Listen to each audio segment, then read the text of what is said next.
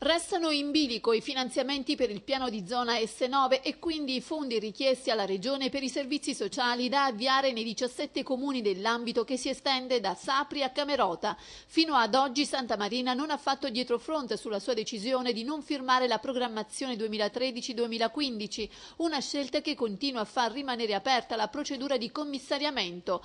Mercoledì sera a Napoli l'assessore regionale al ramo, Ermanno Russo, ha ricevuto i sindaci del coordinamento per cercare di individuare insieme una soluzione che possa evitare la nomina di un commissario che, come ha ribadito anche ieri l'assessore russo, si sostituirà solo al comune di Santa Marina.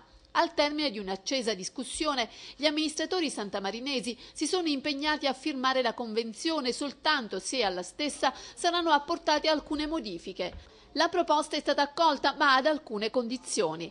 Nelle prossime ore il sindaco Dionigi Fortunato dovrà fornire al sindaco di Sapri, comune capofila del piano di zona, la lista dei ritocchi da apportare. Le modifiche dovranno essere fornite entro la giornata di venerdì, quando si riunirà la giunta regionale che sarà chiamata a decidere se sospendere o meno le procedure avviate per il commissariamento dell'ambito S9.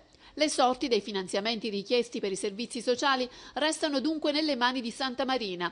In ballo c'è un milione di euro, una parte dei quali la Regione potrebbe stanziare per servizi sociali del Basso Cilento già entro l'anno in corso. Una vera e propria boccata d'ossigeno in un periodo in cui gli enti locali hanno difficoltà a gestire finanche l'ordinario.